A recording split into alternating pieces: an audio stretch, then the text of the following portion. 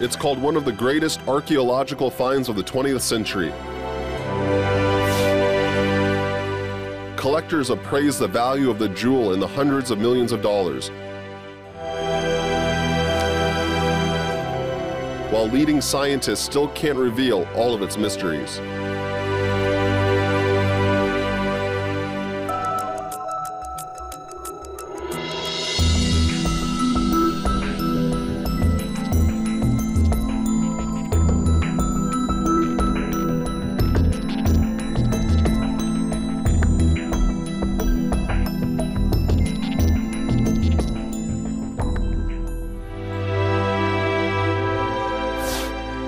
This is the Kiev Pechersk Lavra Monastery, with its almost thousand year long history. There's hardly any object on the UNESCO World Heritage List that could bear up against such a thorny fate.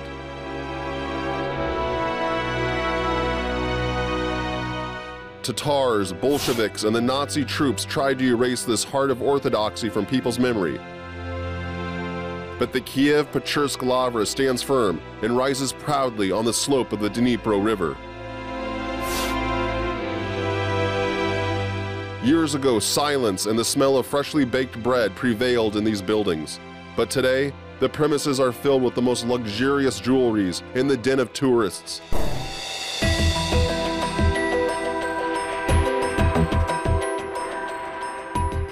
Every decoration and jewel tells its own unique story, but the Scythian gold pectoral is the museum's pearl. 1,150 grams of gold, 30.6 inches in diameter, nearly 100 golden figurines are linked semi-moon shaped decoration in a breast. Three tiers are separated from each other by four thick tubes in the form of a twisted plate. The pectoral has traces of casting and engraving. Ancient masters have applied a number of other techniques in preparing the pectoral as well, which modern day jewelers have failed to repeat.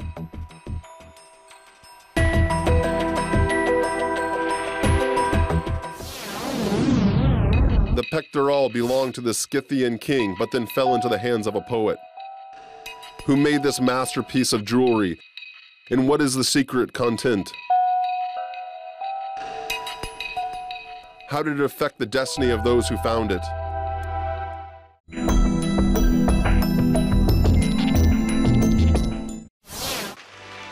Ukrainian steppes bury many legends and mysteries beneath. The Scythian mounds are among them. Tons of ground are between us and the events that happened more than 2,000 years ago. These structures are the resting place of people who defeated the invincible Persians. In the late 1960s, the rapid development of metallurgical plants violated the serenity of Ukrainian tombs. Hundreds of graves were under the threat of demolition. The Tovsta Mohyla was among them. Local authorities had already begun destroying the mounds. The land, mostly black soil, was taken to be used in flower beds or for other purposes. The excavations had to be started as soon as possible. The mound was 8.5 meters high and had 70 meters diameter. The excavations of such a gigantic piece of earth would require heavy equipment and big money. But the Institute of Archaeology lacked such money, and it did have special machinery and qualified personnel.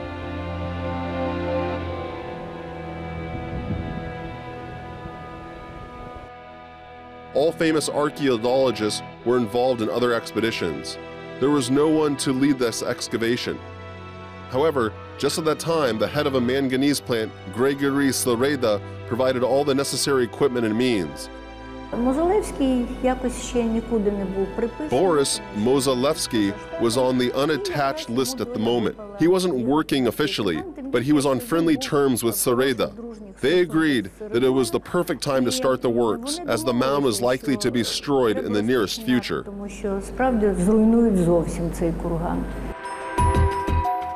The immense love for archaeology encouraged Mozalevsky to begin excavations of the mound. His colleagues used to think the mound was empty.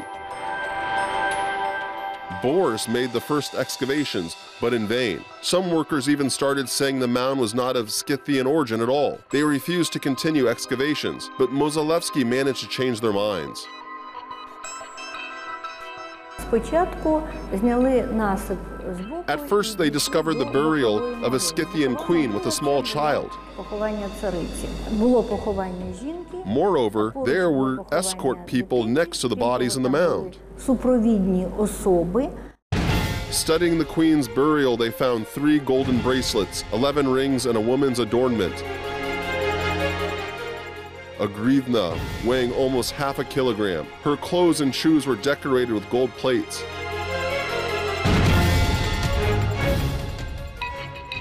The first findings promised even more colossal discoveries, but soon archaeologists came across a predatory path.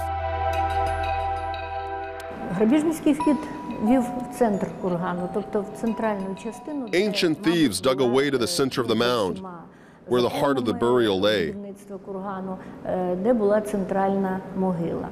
Або ж вхід в центральну могилу. Researchers were shocked at what they saw next. Human bones and wreckage of ritual utensils were everywhere. Scientists realized that not only Scythian plunders, but modern marauders had visited the burial mound at various times.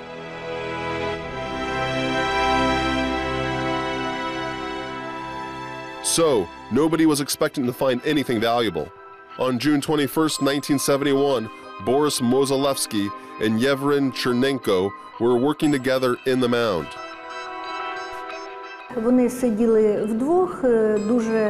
They worked together carefully, scraping the clay layered off the floor. Mozalevsky recalls he felt something under his fingers.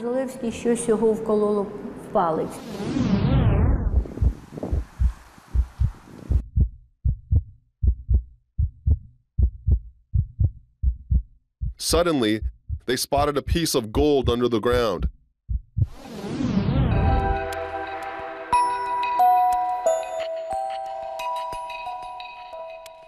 It was the Scythian pectoral, a unique and mysterious piece of art.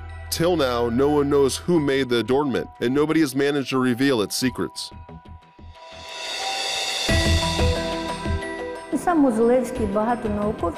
Mozalevsky and many other scientists believe the Greek masters created the pectoral. They were Greeks from Athens, not from the Black Sea region, to be precise.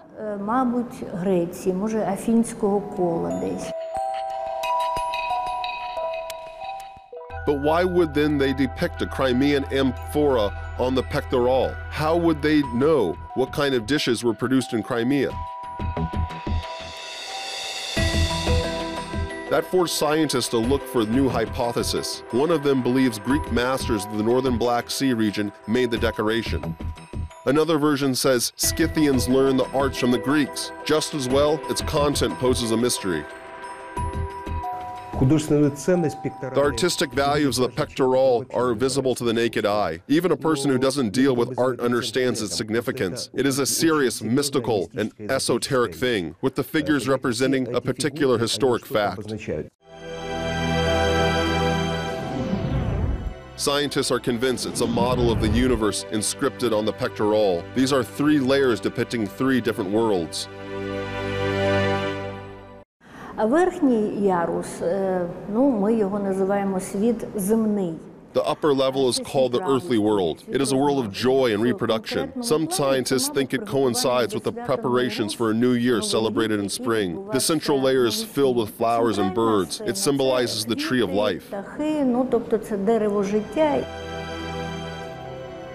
Some believe the central layer stands for the recipe of a healing balsam used by the Scythians during the periods of war.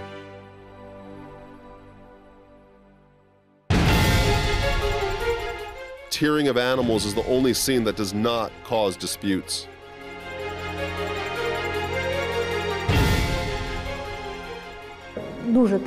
It is a very tragic scene indeed, which means the world of death.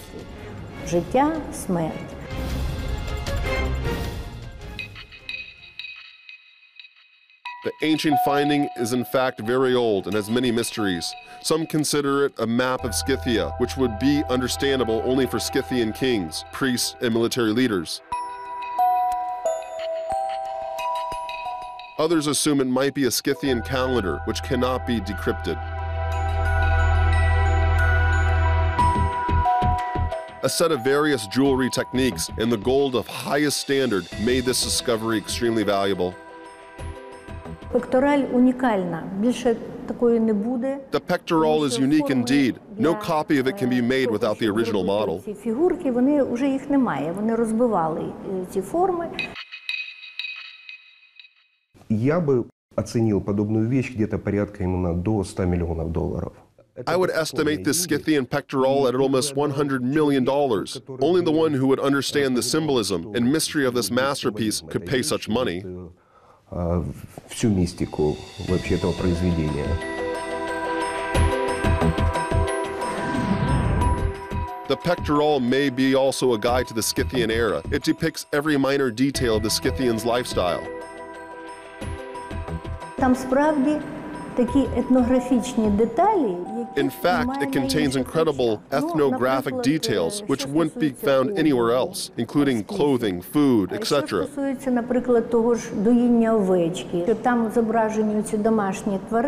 Besides, the adornment also depicts some domestic animals, even hints at the type of sheep they bred.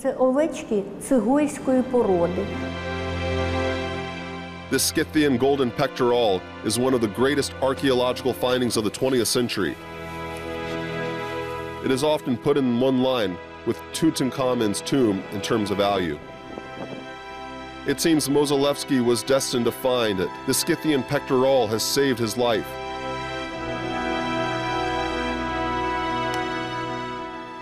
In the late 1960s, he was accused of nationalism and therefore was under the KGB's watchful eye.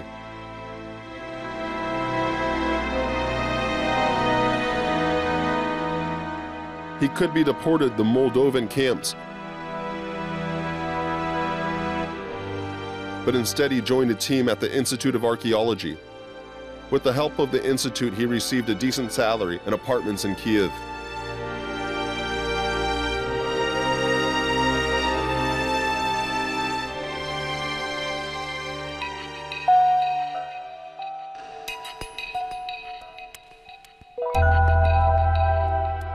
This unprecedented finding attracts the attention of scientists from all over the world. At present, Kiev is his home.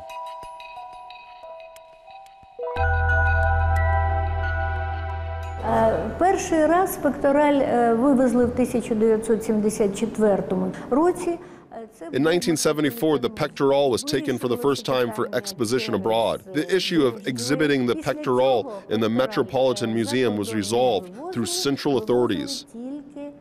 That was the only time it has been displayed abroad. Even the Council of Ministers was involved. І ми її провели через е, е, Раду міністрів. Это символ власти. Это как э, английская корона. Понимаете? То есть и it's a symbol of power like the imperial state crown. Do you understand it? Fortunately, this historical finding remains in Ukraine. However, it could have been sold abroad years ago, and we should preserve it as it is priceless. It is our symbol.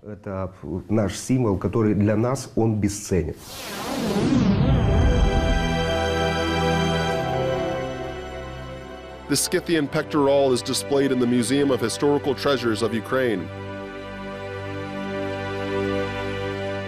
This ancient riddle haunts the minds of modern scientists. One of the latest assumptions is that the pectoral is a coded message of the Scythians.